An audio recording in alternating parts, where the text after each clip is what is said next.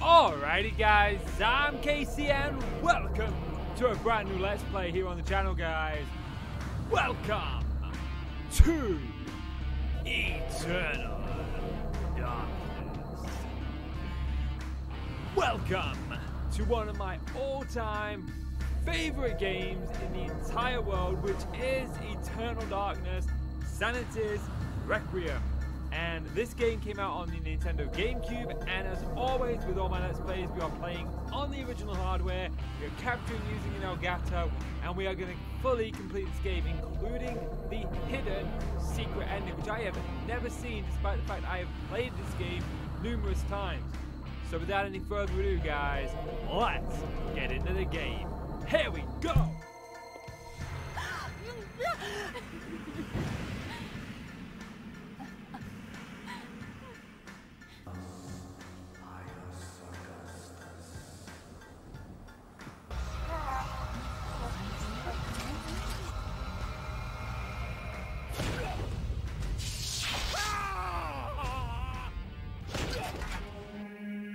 flesh, bone, bound together with the oddest magical incantation. This wretched book is where it all began so long ago. Before time, before humanity. I am Dr. Edward Roivas. I am a clinical psychologist. I am also dead. This is not my story, nor even the story of the Roivas family. It is the story of humanity. Like it or not, believe it or not, as you will. Your perceptions will not change reality, but simply color it. Humanity has been on the edge of extinction for two millennia, ignorant of so much and dependent on so few. The Guardians grow restless. Their time once again near.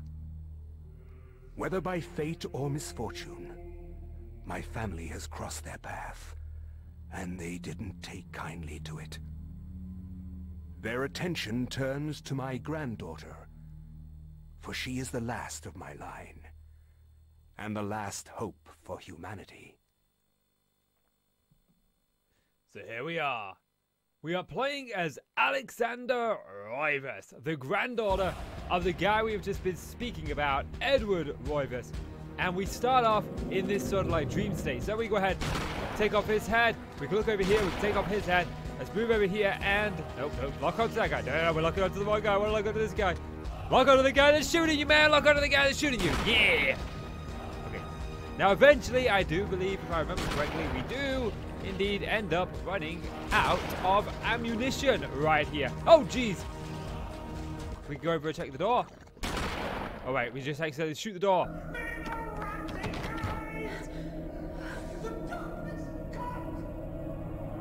Remember that. Remember that.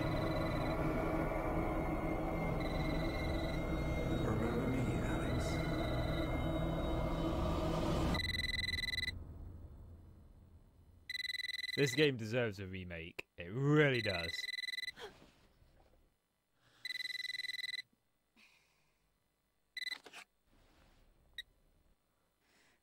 Hello.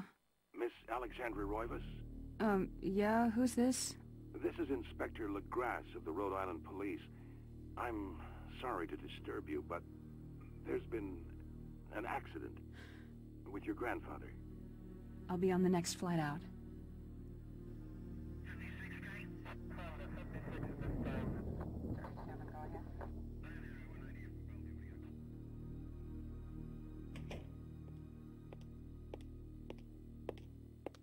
Miss Roivas.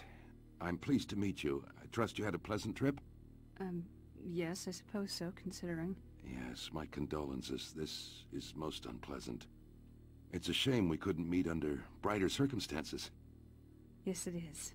Can we get this over with, please? Of course, uh, this way. But I must warn you, it's not a pleasant sight. I'm afraid there's not much to see.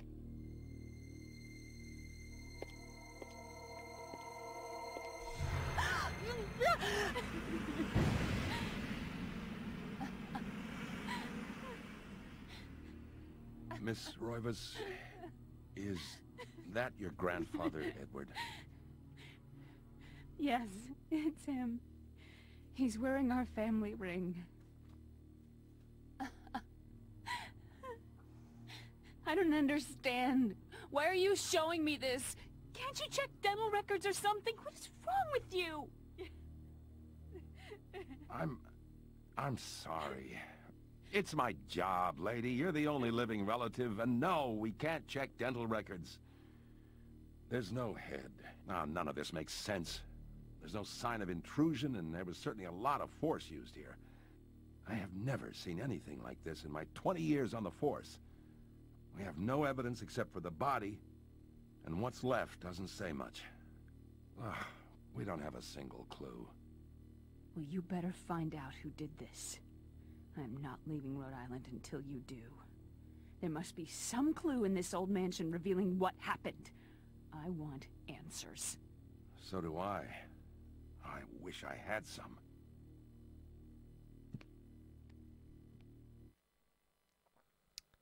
Shocked by her grandfather's mysterious death and frustrated at the incompetence of the local police, Alex vows to uncover the truth.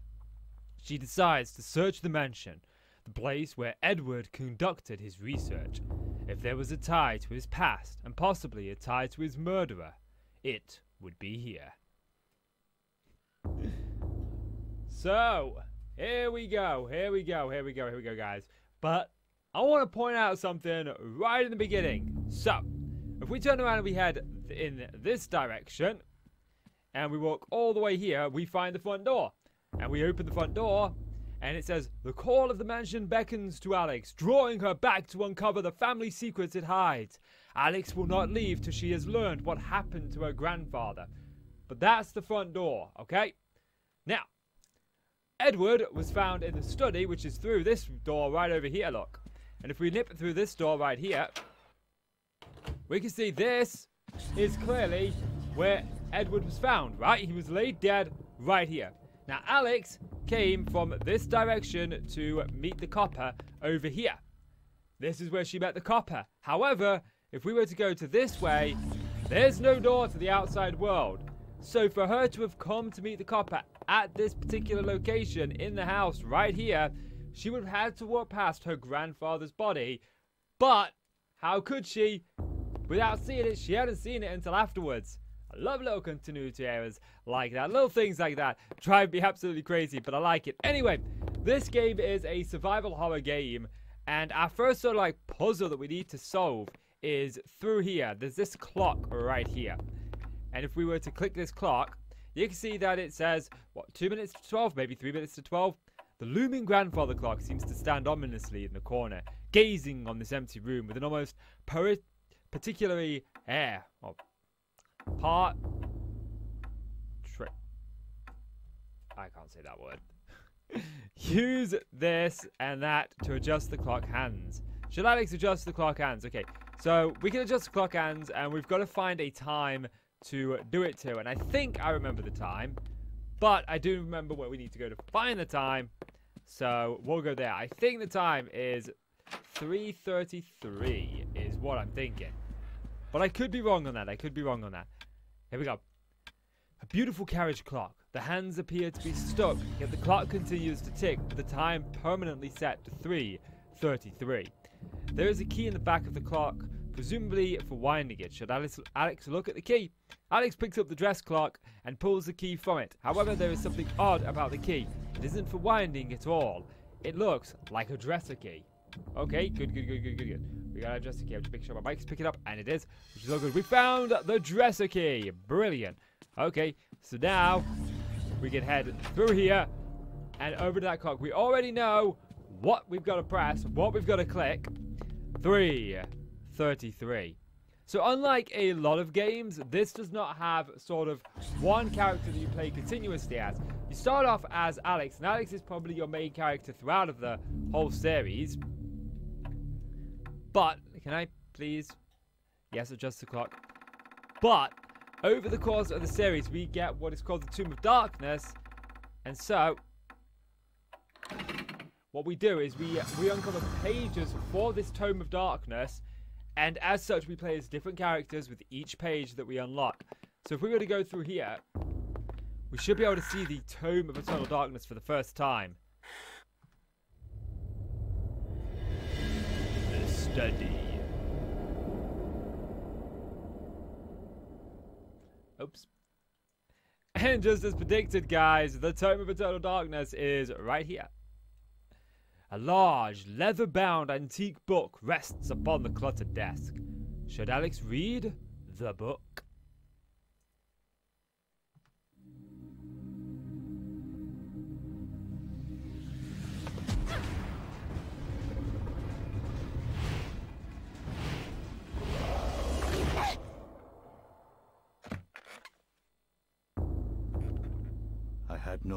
Knowledge of what was to come, nor did I care. How the knowledge changed me, it will also change you. As you read this, you will come to learn fear as I have. You too will come to understand, or you will perish. To think that once I could not see beyond the veil of our reality. To see those who dwell behind. My life now has purpose, for I have learned the frailty of flesh and bone. I was once a fool.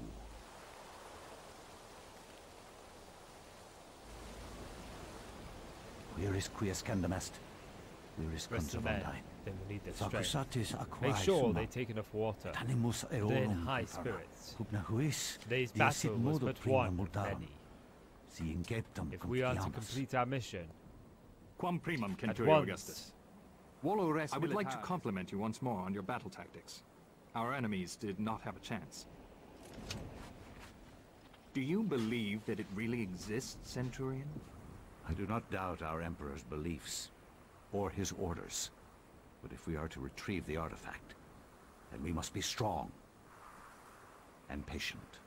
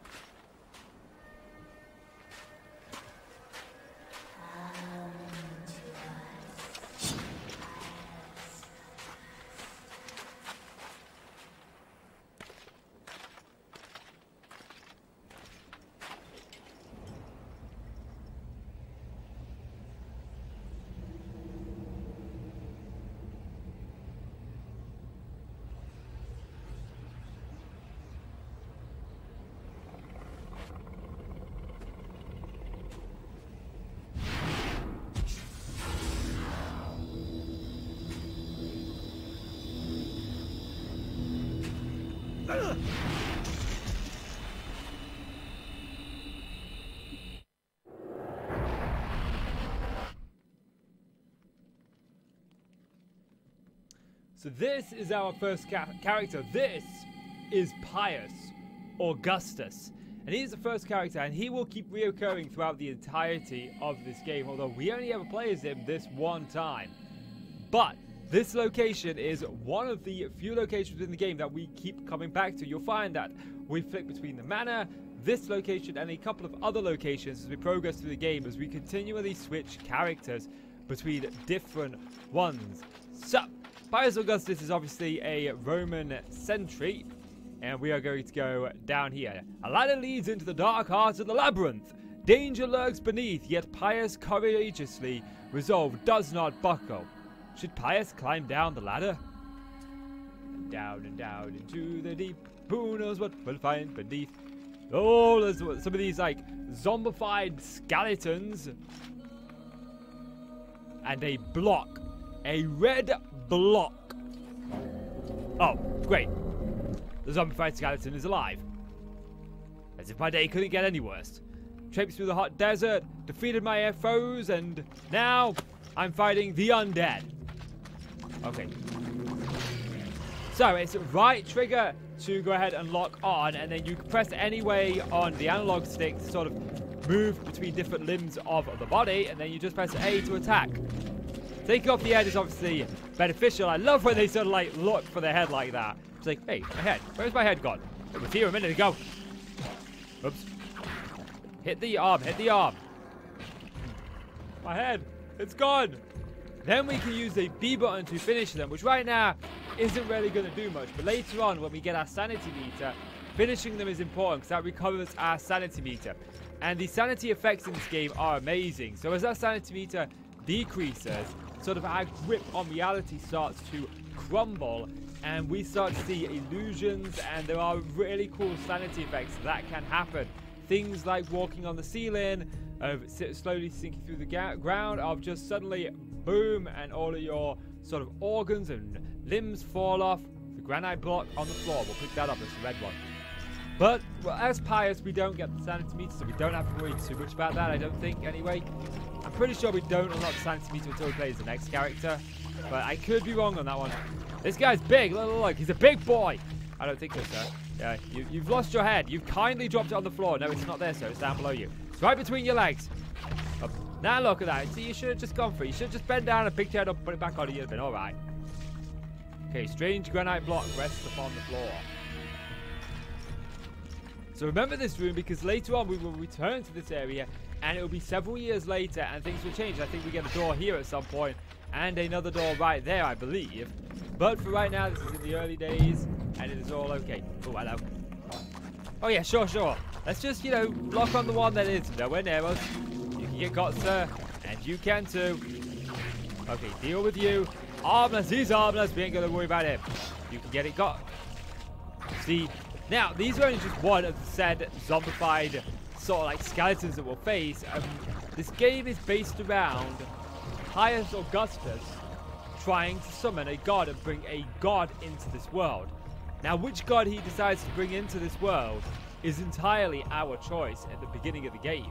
You see, a little bit later on, we're going to get a choice between doing one or, well, one of three runes. And whichever rune we pick is sort of going to dictate the way the game progresses. Each rune progresses the game slightly different, although you still follow the exact same story path. Just the enemies that you encounter, the bosses that you face, and overall what Pious is trying to do is different. So we go down here. There's another set of these. Quite easily. It hasn't given us a tutorial on fighting, oddly enough. It usually does. So we're going to go ahead and we're going to open up this door here. And here we are. We have all three possible runes on the wall, but there is a fourth one. And like I've said, this game has a hidden ending, and that is with the fourth rune, which I have never done. But we're not at the rune selection screen just yet. We're at the skill Caliton. Skill Caliton. Skill Caliton, really? A word's that difficult today, Casey. Ah, we're at the kill skeleton stage, which is where we need to kill these zombified skeletons. Don't like them. They remind me a little bit of my wife. Actually, no, they're better looking.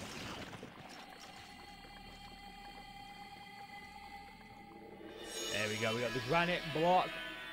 And now we can put these in here. We can actually go to our menu screen here. And this tells us the use function, the equip function, and the check function. And as we any other game, you could sort of check your blocks and have a look around them and stuff. And we're just gonna... I was in front of the black one, yes, the purple one rather. So we'll go ahead and we'll use the purple one. If you put the wrong one in the slot, then you get some more zombified skeletons come out at you. My hair is just looks all weird. okay. Let's go ahead and put this one in here. Easy enough. And then uh, the purple one is Mantarok. This one, I believe, is Chuchugarat. We check it. Does it say? No, it doesn't say.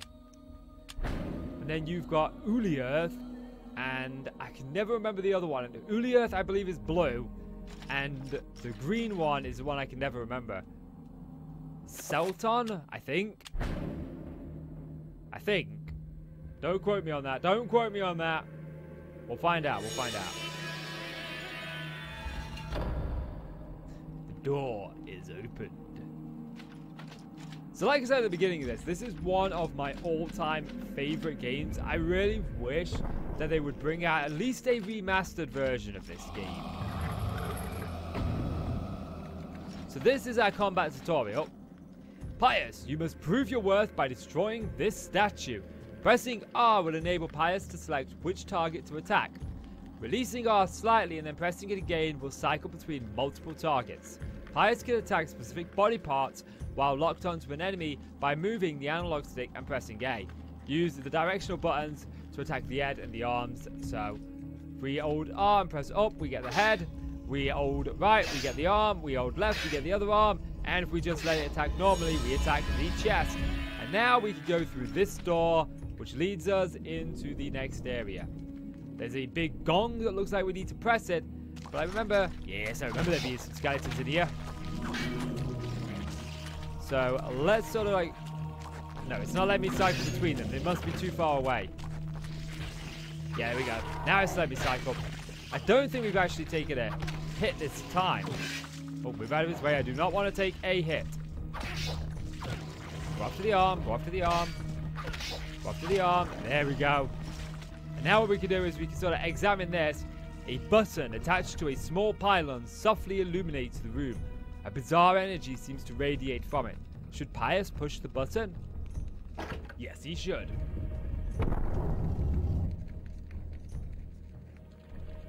There we go. In to the portal we go. Here we go, Pious. Here we go. Now we have been teleported to this area. Remember how I said we had to select a rune? Well, here we are. These are the three runes. These are the conduits of the gods. These are the artifacts of the gods. And this game doesn't really have a easy, normal, or hard difficulty, but you can kind of class these runes as such because you see, the green one means that you'll be finding a lot of green sort of creatures, and the zombies from the green ones die if you give them a headshot.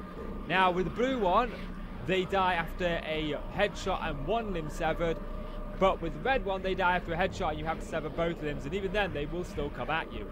So, they just sort of the, the kind of regular zombies that you'll be dealing with, which don't really make much of a difference because all of the harder creatures that really pose the challenge don't take the same amount of hits. But we're going to start off with Ulyaoth, I think. Shaped like a delicate dome, a pale blue statuette floats gracefully above the pedestal. Should Pious claim this artifact?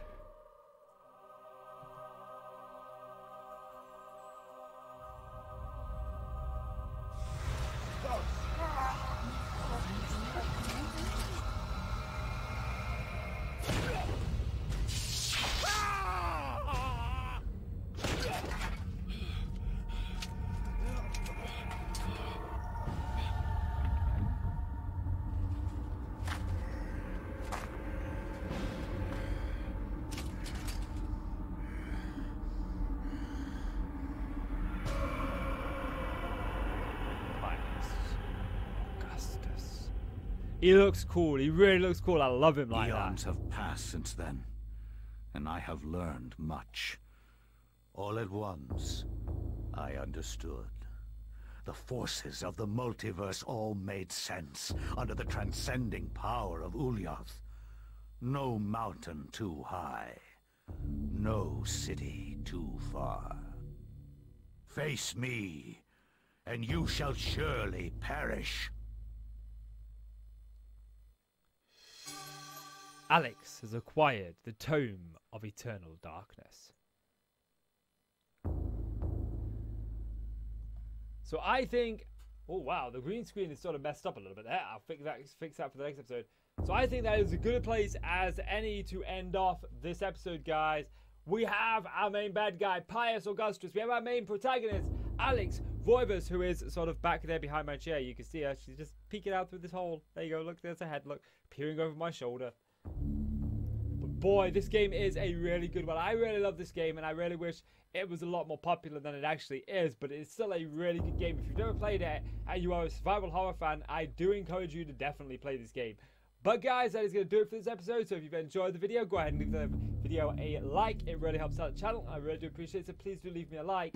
And hit subscribe if you want to see more from me. Guys, in case you want, thank you so much for watching. I'll see you in the next one. Bye.